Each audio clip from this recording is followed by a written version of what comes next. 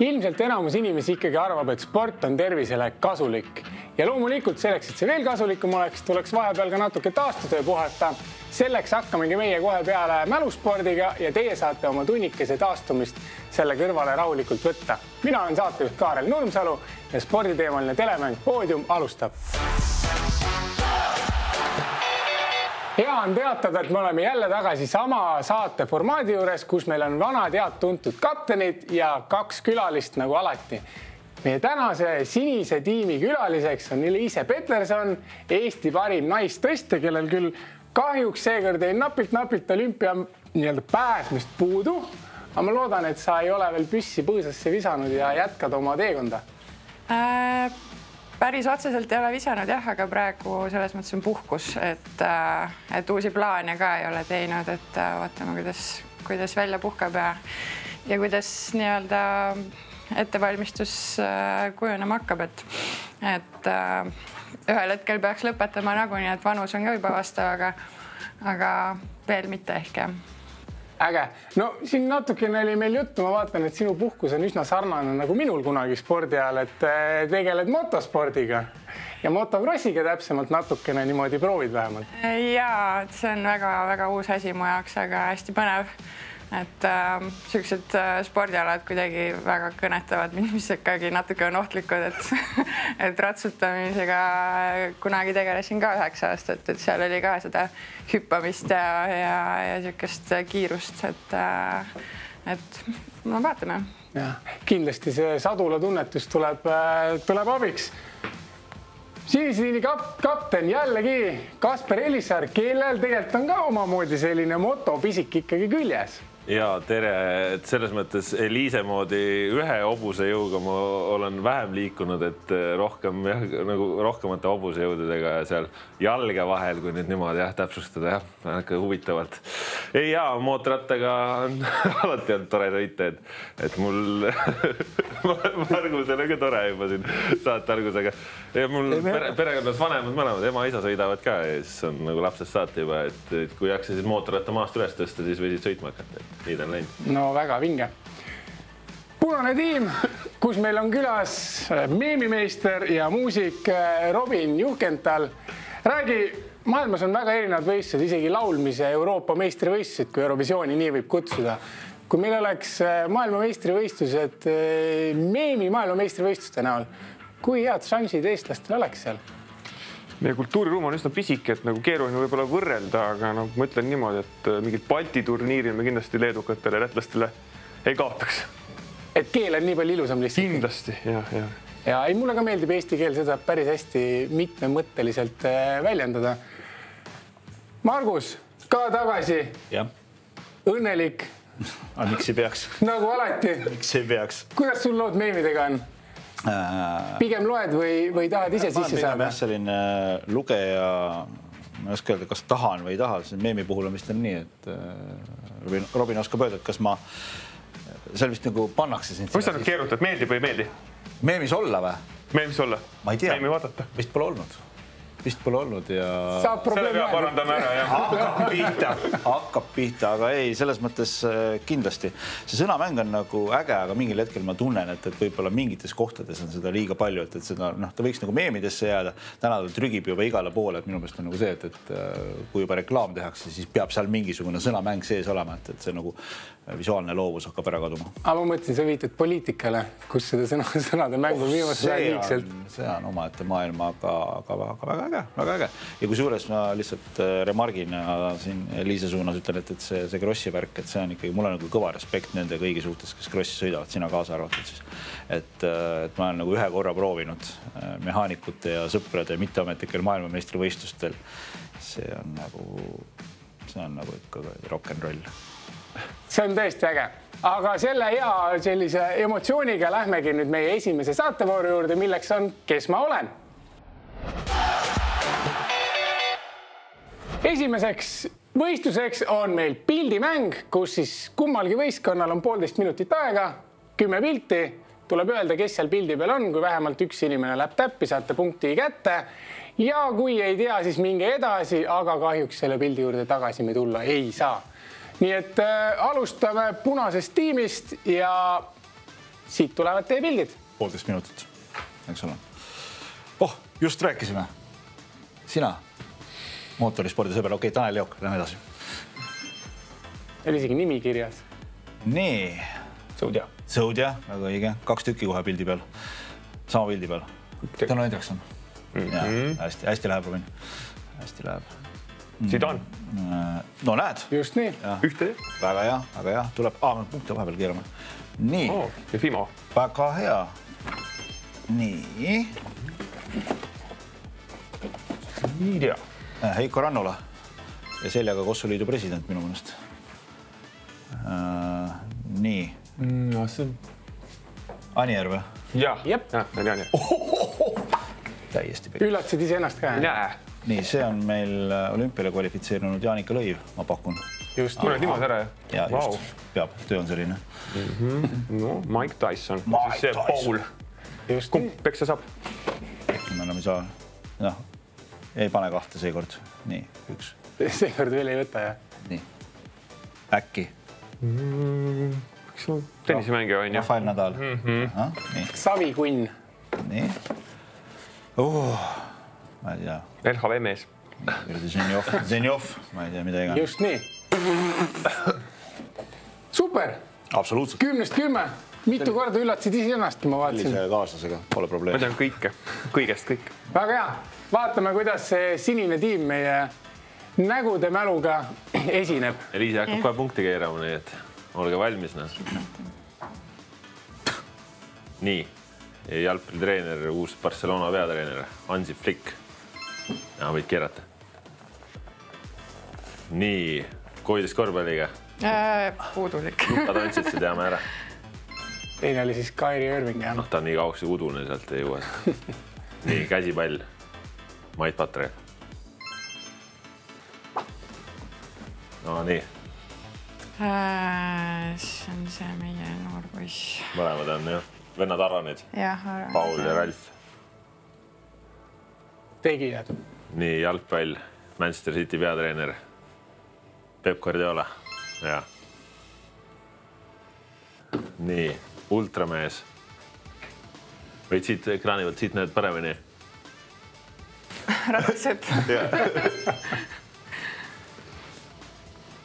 nii, kas see on meil äh, vana, vanakooli mees või? Sebastian Loeb või? üks ja ainus. väga hea, Kaspar. nüüd läheb keeruliseks.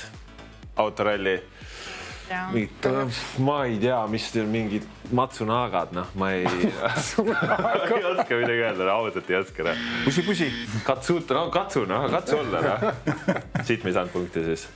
nii, lahkuv koondise peatreener Toomas Häberli. väga detailitäpne. üks sekund. vana Sildaru, Tõnis. aga Aiga Lopui.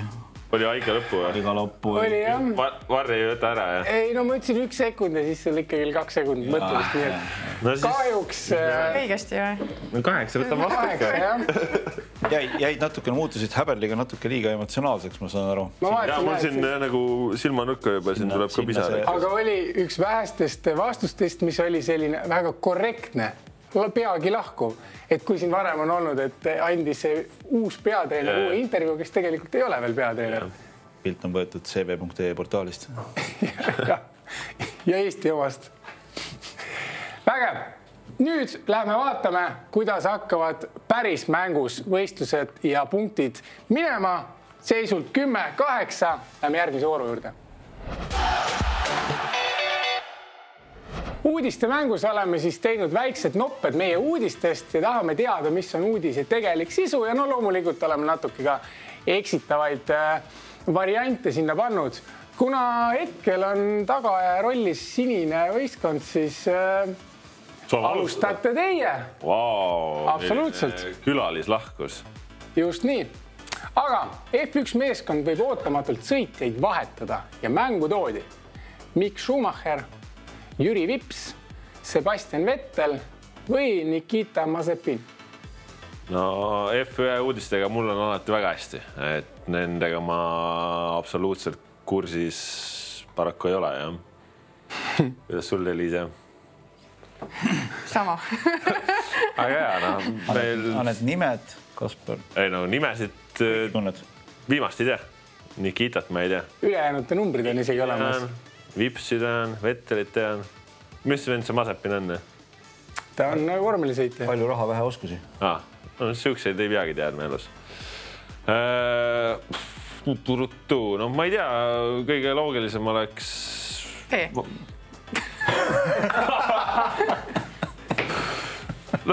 raha mängib ikkagi. no aga proovime, proovime. nii ja D ehk Nikita Mazepin siiski siiski mitte.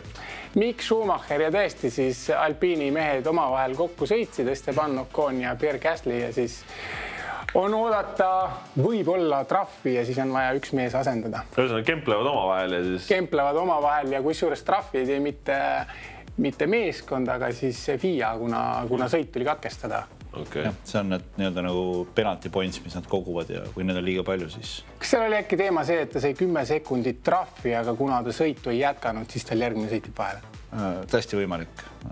see Monaco oli nii igav, et ma poole peal jäin magama.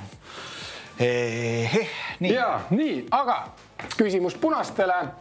Konstantin Vassiljev otsustas, kas söötmise, tsenderdused, koondise karjääri või abielu lõpetada.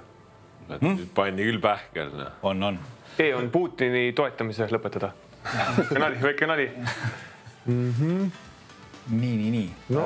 kuidas, kuidas on sina, söötma peab, söötma peab. kuidas on sina ja jalgpall? no me saame nagu läbi, aeg-ajalt kohtume. Taani tundsid ära, selles mõttes on hästi mm. -hmm. umbes sinna aega jääbki tegelikult see tihedam jälgimine. ahaa, ja, ahaa, ja ahaa, no Kostja on suht sama masti mees. oleks muidugi väga, väga huvitavad variandid tõesti, et kui ta mõlemad ära lõpetaks, nii söötmise kui tsenderdused. kas need võiksid kõik omavahel seot- seotud olla? hakkab rohkem isetsema et kui söötmine tsenderdus ära lõpeb, siis järelikult lõpeb ka koondise karjäär ära ja kas koondise karjäär on kuidagi seotud abieluga? võib-olla mängib koondis edasi, lihtsalt isetseb rohkem. ahah, ahah ahah, ahah. aga iseenesest ma ikkagi. Ma arvaks, et see ikkagi, jah. see jah, lähme, lähme C peale nii. C koondise karjääri, täpselt nii. Kahjuks siis või, või õnneks meie legendaarne mees astub kõrvale, kindlasti väga kena karjääriga ja, ja kõva mängija Eesti jalgpalli ajaloos olnud mm. -hmm. järgmiseks küsimus äh, sinistele. karm kriitika WRC sarja debutandi pihta, ta on nagu vanaema teel kirikusse, kraavijott, tigu mööda märga muna või Belgia vahvel, aga natuke toores no me siin oma WRC teadmistega oleme juba hiilanud ka. no kes see debütant on? ma arvan, ma nii palju võin äh, vihjeks anda, et tegu on äh, Gregor Munsteriga. aa, no s- Munster ütleb ära ju. selles mõttes, et äh, ei, ma nime pealt ma läheks äh, natuke selle tee peale, et Belgia vahvel, aga natuke toores, et noh, vanaema teel kirikusse. No ma ei tea, see on ikka päris brutaalne, et siis, see on natuke inetu jah. et noh, mis seal vanaema vastu saab olla, noh. eriti pühapäeval, noh, kui ta kirikusse läheb, et äh, noh, Nii. kraavijott on sihuke, see on rohkem sihuke nagu Eesti legend on ju, et vaevalt, et Eestis siin mingi Marko Märtin hakkas paugutama äh, tigu mööda märga muna, noh, ma ei tea, ega ta päris kiiresti iseenesest. oleneb, kui märg on jah. ma ei tea. Tee paneme siis. Läheb tee peale jah, vaatame, et äkki on Belgia vahvel. Belgia vahvel, aga natuke Oh, toores, täpselt nii väljend tuli siis äh, soomlaste podcast'ist. edasi, peatreeneri kutseta jäänud Katrina Lehis, Kristjan Ilves, Ger Kriisa või Johanna Talihärm valmistub hooajaks koondisest eraldi. kes neist siis on see, kes ei, ma ei tea, kas ei sobi või siis tegelikult tean küll, aga, või, või ei taha no arvaks, et Katrin Lehis, kui mul on väga valel real, siis korrigeeri. jah, aga mis hooaeg tal algab? Mõtlen nüüd niipidi, et tegelikult neil on hooaeg käimas, jah, seda küll mida sa siin valmistud mm,, seda küll, seda küll. vahet ei ole, kas ma peatreener on tahaks ei öelda, et. Kristjan Ilves on korralik konks siin, sest No, Kristjan Ilvesel on puhkus praegu, on ju. Kristjan Ilves on. jah, Eesti, Eesti kahevõistluskoondis või? ongi Kristjan tõe-, Eesti kahevõistluskoondis ongi Kristjan Ilves. nii, aga võib-olla ta ei taha olla suvel see koondis.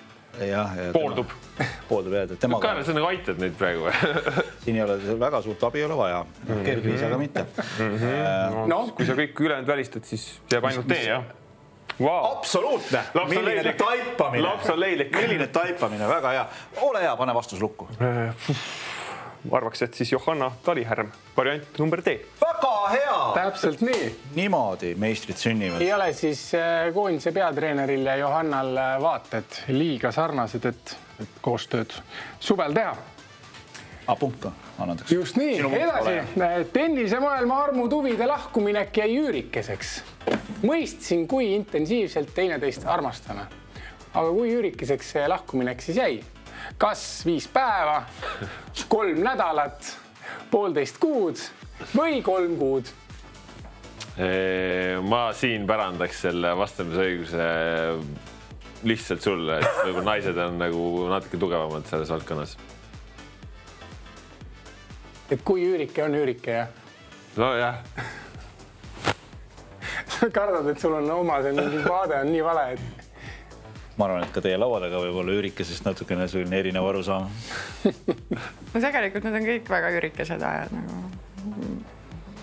ma ei tea, võiks sinna keskele midagi C äkki, üks koma viis. üks koma viis. no mina usaldan.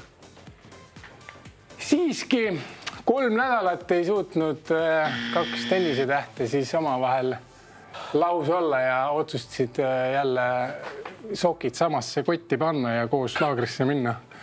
ühe kotiga, et no ma ei tea võib-olla jagavad neid kotte, aga no midagi sihukest tõenäoliselt see on. nii, viimane küsimus punasele tiimile ja on nii, selline. Müncheni Bayern lõi käed peatreeneriga, keda peetakse järgmiseks Angelotiks, lohutusauhinnaks, läbikukkujaks või geeniuseks. tohoh mm -hmm. Mhm. tohoh, üks neist ta väidetavalt siis eh, enamuse arvates on. Väga vastakud. fännide. Äh, ja mm, Mhm. -hmm. et, et äh, noh, esimene on ikkagi selline, teine on selline noh, jah, et, tore oli, et, äh, et kõik asjad olid poest ära ostetud, aga siis sa veel, sa veel said nagu rulli kätepesupaberit. aga läbikukkuja geeniuseks, ma kuidagi nagu BC tähendab nagu sama, tavaliselt on nii, et kui kaks äh, sarnast varianti on, siis üks on ikkagi õige. et siis on küsimuse koostajal, küsimuse koostajal olnud. siin on ikka teletoimetaja on rääkinud praegu mm. -hmm. ma tean, mida mina teeks, tavaliselt on B-variant on ka tihemini nagu õige erinevates mälumängudes, aga oleneb nüüd, kui kiire praegu siis koostajal oli. ma nagu hindaks tegelikult nagu ikkagi nagu kõrgelt, et, kas nagu A või D. päriselt jah? ja no kuna ma ei tea asjast mitte midagi. sama siin, no sama või? sama, okei okay. sama, panen lihtsalt nagu praegusel hetkel okay. silmad kinni. lihtsalt viib sind valele teele või õigele. jah, just. me oleme samas tiimis, on ju? ja see on, te olete jah sama laua taga. igaks juhuks lepime selle ma kõigist arvan, et sa ei oled terane. No see esimene on üsna spetsiifiline, on ju. mulle meeldib see esimene. ja, ja no äkki No. on, äkki on lihtsalt- lambist ei võta sihukest asja ju või võtab või? ei no küsimuse koostaja võib ikka kas võtta. läheb lukku? paneme lukku noh. nii, A noh, sul oli õigus, anna andeks. lohutusauhinnaks ja tõesti siis treeneriks saab äh, Vincent Kompanii, kes siis oli Burnley treener. just. sai korraks, said äh, Premier League'is, kukkusid uuesti tagasi. aga nüüd, kui me oleme siin seisnud ja üsna staatilised olnud, siis aeg on pisut ennast liigutada ja esialgu siis ainult sõrmi. nii et lähme vaatame, mis saab e-spordis. tänases näpusõjas hakkavad meie sportlased UFC-s omavahel mõõtu võtma. ma usun, et äh, Robin on nõus, et ta on ka sportlane täna. muidugi olen. Väga hea, aga väljak on teie ja võitja saab äh, kolm punkti, nii et näidake, mis te oskate. oled valmis? jep, no nii, ma olen kunagi Tekkenit mänginud kõvasti, seal oli see, et peksa hästi palju erinevaid nuppe nagu, kas siin töötab see? ei, juba näen, et ei tööta. Eliise on siis siniste pükste ja siniste kinnastega ja, Luad, äh, ja teeb Robiniga juba neid asju, mida on vaja teha. mida sa tiirutad, löö. kaitsesin. huvitav on see, et välimuselt see Makašev tundub palju nagu suurem ja raskem. Mul üks käsi on tugev. aga milleks, milleks lüüa Robin, milleks lüüa üldse millegi muuga, kui see töötab? noh, noh, hetkel ei tööta. ära pahanda, Robin, aga hetkel ei tööta. mitu punkti me kaotame siin?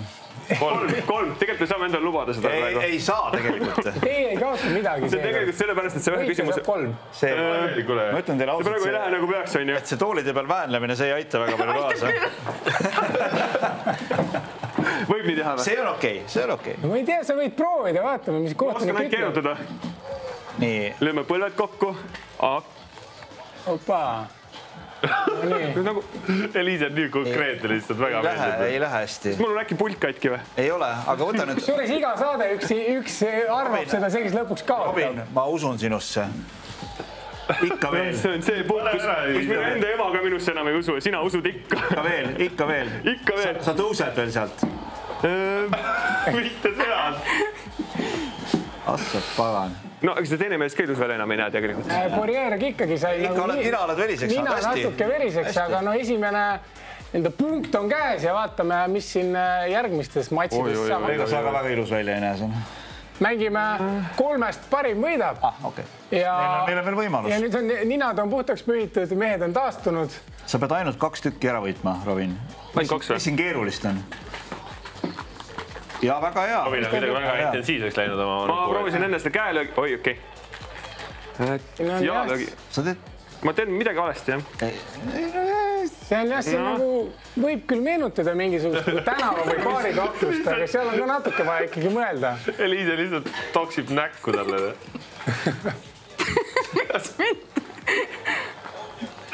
vägisi tuleb selline väljend nagu tark ei torma siin praegu meelde, et vot, vot, vot õige, niimoodi hoia, hoia käsi eemale, ära tule, ära tule, no kuskilt peab tulema mingisugune, midagi peab muutuma. võiks. ma ei kuulanud, kui Lauri rääkis, kuidas kaitsta tuleb. ma ei kuulanud. aga proovi erinevaid asju. väidavad, et parim kaitse on rünnak. siin aitab ainult doping, ma arvan. ma ei ole, ma ei ole kunagi UFC-s, no okei veel UFC-s kunagi. väga hea, tegin tehnilise time-out'i. ma ei tea, hästi kasutasid selle väikese, kahekesi lihtsalt. oli nagu näppude viskamine praegu. ei noh, fakt on see, Robin, et sa lööd. Robin paneb tühja lihtsalt. ahah, no, no tule, tule. hakkab tulema, Eliise, hakkab see ei meeldi tulema. meile. toksi veel, toksi, toksi. ma ei tea, need nupud ei tööta enam. nüüd juba seal puldil ka ei tööta. meil, meil ei ole, tühjad. Robin, meil ei ole väga hästi, aga parem kui eelmine kord. kindlasti parem. on, on, on, on. no mis Pane asja kuule, ma parem ei kiida, ausalt. Eliise väänleb lihtsalt selle tooli peal juba. see on minu veri kõik seal või? me ei tea, eks ära, ära vaeva mingisuguste sihukeste asjade üle pead praegu. ikka teinekord saad haiget, kui hakkama. tõuseb püsti, tõuseb püsti ta. on enne mänginud seda jah? Ma tunnen isegi värinat praegu. Ouch. pahasti on jah sinuga, Robin. pahasti on sinuga, Robin väike jah. kaks võitu käes, siin võib punktid peale keerata. alati võib öelda, et ma džentelmenina lasin võita. tõenäoliselt ma korra nagu mõtlesin, et äkki oleks soov mingisugunegi häbi puhtaks pesta, aga need matšid näitasid, et tõenäoliselt kaks-null ja, ja parem ärme siia haavale seda soola rohkem raputa. Lähme kiirelt edasi jah. aitäh. Lähme edasi ja vaatame, mis saade meil edasi toob. Väga põnevalt viigiseisult kaksteist, kaksteist hakkavad meie küsimusi esitama nüüd kaptenid, aga enne veel on meie külalistel võimalus anda enda panus kolme punkti süsteemis, mitme punkti peale mängite, kui õigesti vastate, saate punktid endale, kui valesti, jääd ilma. võtaks siukse kesktee, mängiks kahe punkti peale. selge, kaks, Eliise, sinu otsus. teeme konservatiivse ühe äkki. Okei okay., üks ja esimesena küsib meil Kasper Nonii, lihtsamat sorti küsimus täna siis, mis riigi meistriks ja kõrgliiga suurimaks väravakütiks tuli värskelt Eesti jalgpallikoondise ründaja Henri Anier, enne pildilt ära tundsid, et kas siis Rootsi, Lõuna-Korea, Hongkongi või Tai? kuidas mina tean? no ma tean, et sina tead. mõtlen, et kui tuli siis ma, värskelt meistriks. kui ma, kui ma oleks Henri Anier, kus ma mängiksin või? kus ma mängida tahaksin? mina Rootsi ei viitsiks minna, see on liiga lähedal. Lõuna-Korea, nagu võib-olla Põhja-Koreas mängiksin hoopis. ja Põhja-Korea meistriliiga, see on maailma kõige kõrgem liiga. see oleks huvitav. väga aus mäng on see. Kim Jong-sun on kõik, lööb kõik väravad. jah, et aga Äh, tegelikult noh, vaata, seal on nüüd nagu tõmmatud kogu see, kogu see Aasia pool on siin alla tõmmatud Lõuna-Korea mm, -hmm. kus minu meelest ka keegi on mänginud. Hongkong, kas selle, Hongkong tuleb see linnriik, ei. ta on jah Hiinas nagu natuke teistsugune jah ja, ja, ja. siis on Tai mm, -hmm. kus kõik eestlased käivad mm. -hmm see oleks nagu loogiline on ju. puhkused jälle koos. arvad, et peaks puhkama ja. puhkused ja, ja jäigi nii tore, mõnus kliima, odav. väga äge puket ja särk-värk ja ei hakka tagasi tulema, ega teil siin ei ole tööd mm. -hmm. ma võiksin natukene nagu mängida ka mm. -hmm. ma jääksin sinna ka kusagile äh,. mul millegipärast on kuskilt meeles. kuskilt? et see võiks olla mm, -hmm. et mul millegipärast on kuskilt meeles et see. miks sul meeles on see äh,? olles lugenud uudiseid mm. erinevaid mm, -hmm. et see võiks olla äkki Tai. Lõuna-Koreas mängis ka keegi, aga minu meelest see on Anier, äkki mängis keegi teine. võis olla, mingi teine Anier Anieri on küll kaks jah. paneme Tai või? paneme Tai. paneme Tai, Tai. Tai siiski vahi. Hongkongi liigas. Hongkong on õige, aga selles mõttes kõikides riikides on ta mänginud no, ja Tais mängis ta vahetult enne seda, kui ta läks Hongkongi mängima. ja enne seda oli Lõuna-Koreas.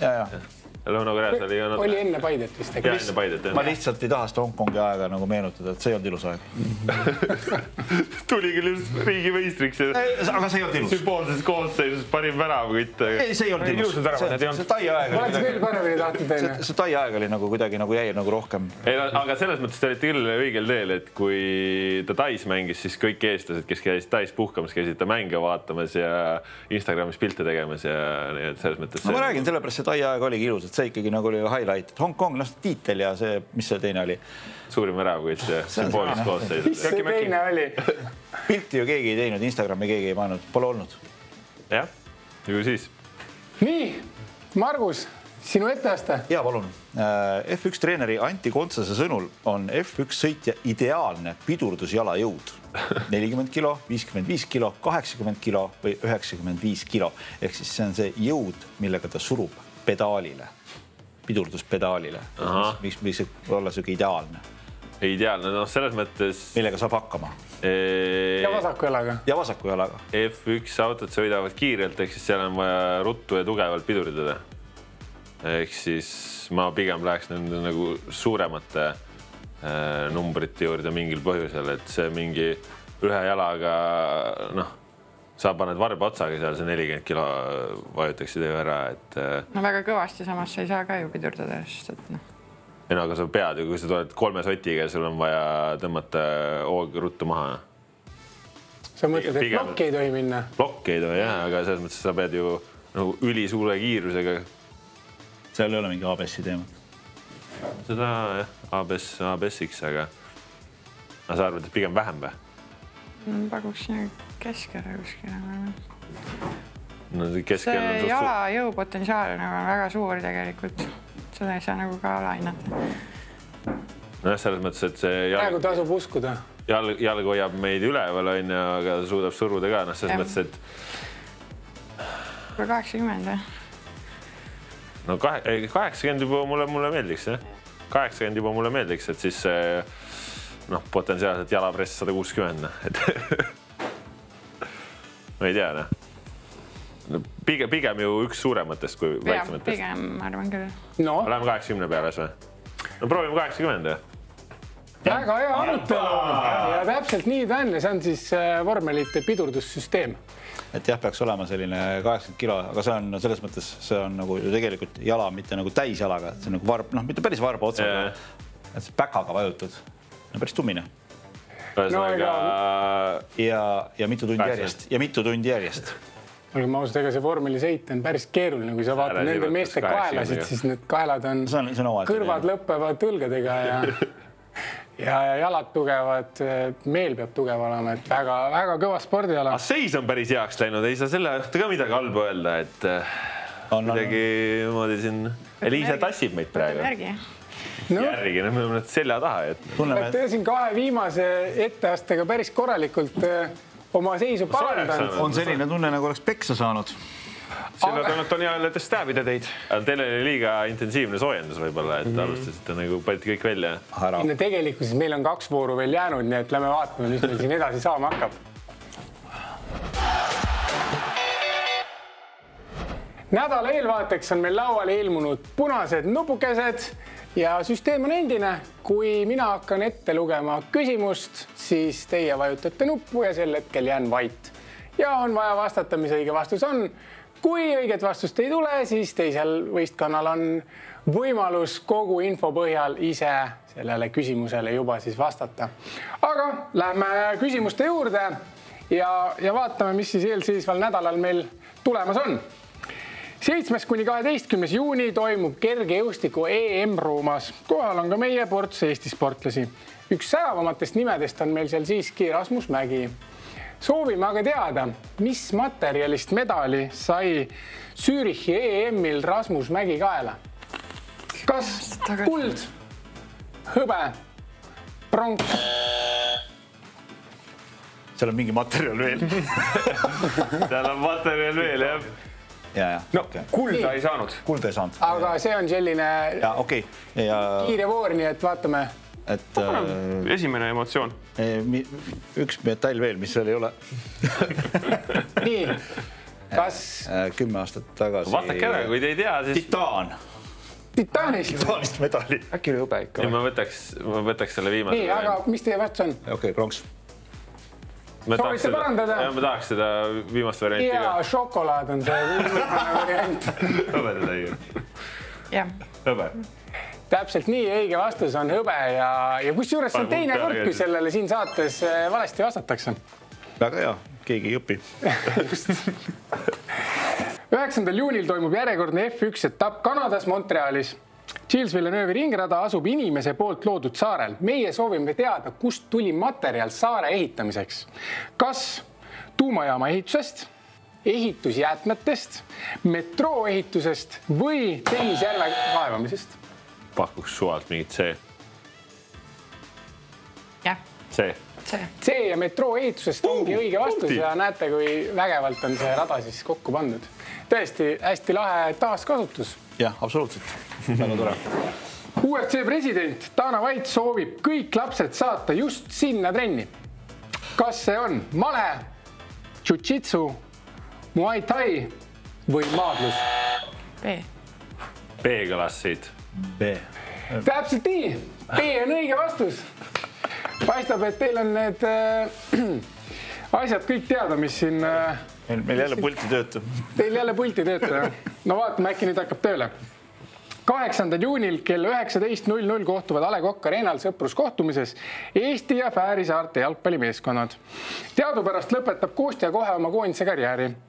millise rahvuskoondise võrku Konstantin Vassiljev viimati sahistas? kas Põhja-Iirimaa, Horvaatia, Leedu või Gibraltar? noh, pane vastus. oli Leedu või?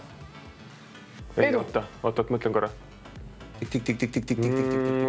No paneme, paneme. mis on teie variant? ma praegu kahtlen kahe vahel, aga ma arvan, et Gibraltar oli hiljem kui Põhja-Iirimaa vist. ehk Gibraltar. täpselt nii, kusjuures see värav löödi kaks tuhat üheksateist aasta kakskümmend kuus märts ehk omajagu on ikkagi möödas juba Kostja viimasest koondise väravast.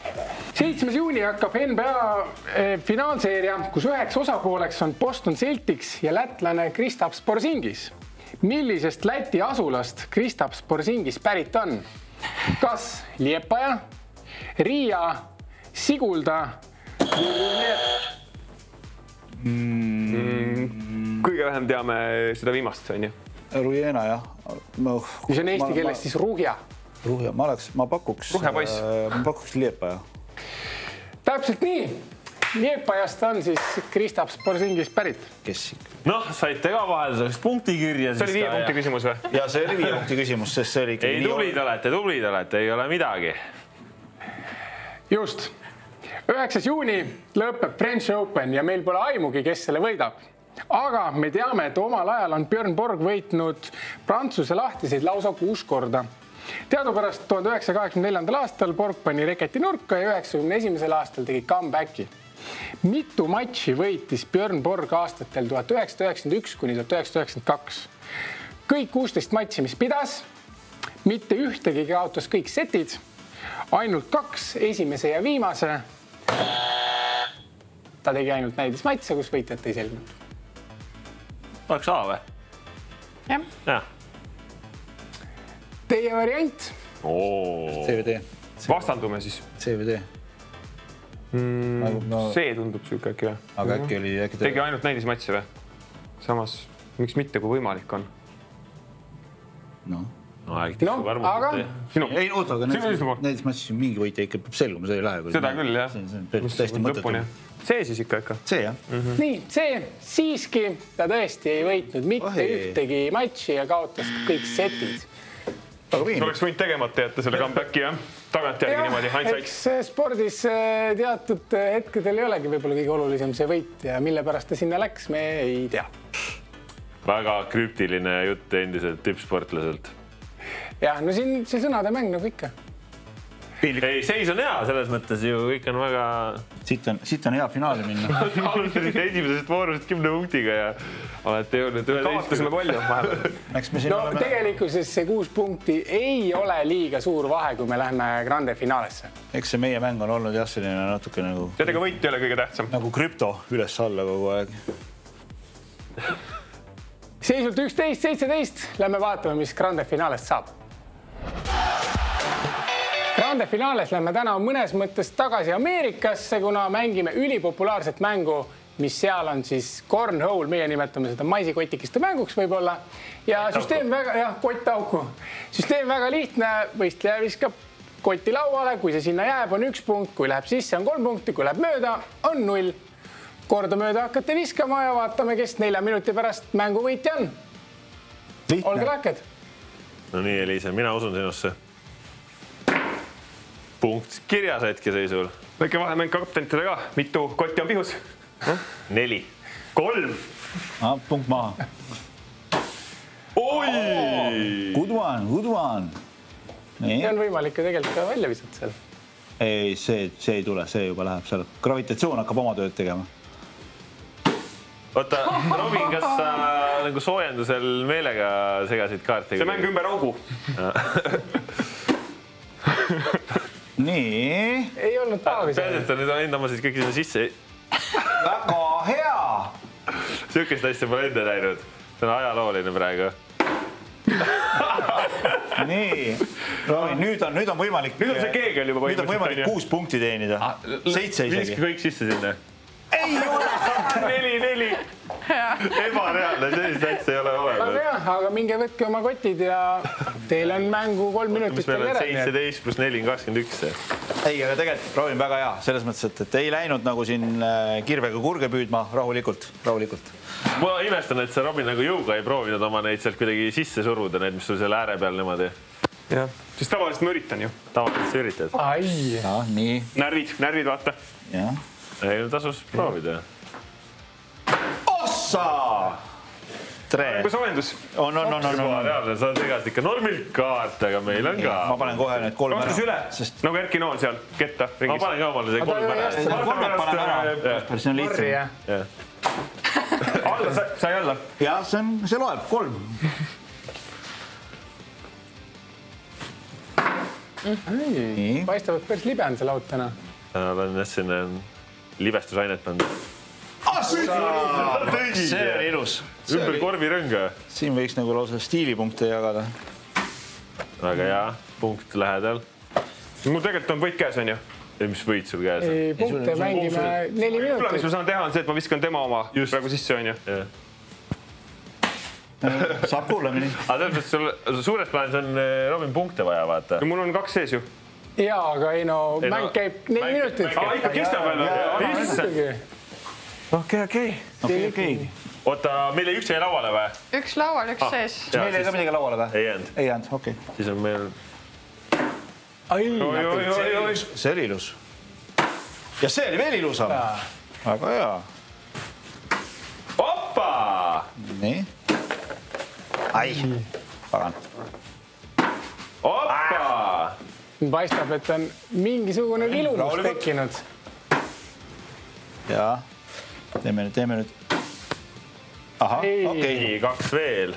oi, kuidas meil tuleb punkte? palju teil on? kolmkümmend kolm on meil. kakskümmend viis. kõik on võimalik. ise ma ütlen, ma annan soovituse No. mängi aega. meil kiiret ei ole, aeg tiksub rahulikult. no viimane minut käib praegu. praeguse põhjal teil täpselt väga üks mäng sina ongi ei, ei kiirusta, viskad rahulikult. väga hea. see läks otse, nägite? Väga ilus. päris show'i jah. opa, aga no nüüd hakkame oma teed minema vist, nüüd vist hakkame oma teed minema, Eliise. noh, jäävad peale. mõte õige. saame vist kätte, saame vist kätte, mulle tundub. nii, nii. ai ja, kaks veel. oi, siin läheb praegu purustamiseks. no teil on viisteist sekundit mängu jäänud, nii et teeme, teeme nüüd kiiresti see kümme-null. või isegi üksteist võiks olla. okei, Robin, pane kõik järjest ära juba, juba keeruline. ai. nii, ja see oli sõna otseses mõttes viimase sekundi kolmene. ja, ja meie saame ühe punkti juurde, sest meil üks jäi lauale. paneme käe kus, kus, kus sa nüüd olid? no paistab siiski, et äh, Eliise võttis siin äh, tegevusülesannetes kindlasti oma. või siis ka mitte kõikides muudes koos kapteniga. tavaliselt on sinu poole kaldu see vaadates äh, Robini tegutsemist, siis äh, väga raske treeningutel ja, ja pisut kergem lahingus. iseasi, kas see üldiselt meie saates nii kehtib, seda me ei tea, aga sellegipoolest suured tänud kõikidele kaptenitele, külalistele ja loomulikult televaatajatele. aitäh ja kohtume juba nädala pärast.